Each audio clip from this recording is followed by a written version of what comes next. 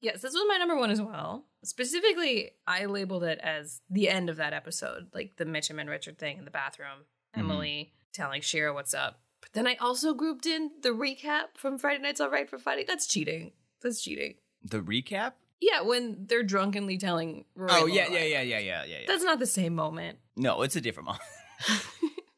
But we're just talking about moments. Why you gotta put numbers on them, Bryan and Stacey? you made me put numbers. I couldn't choose. yeah, all that was delicious.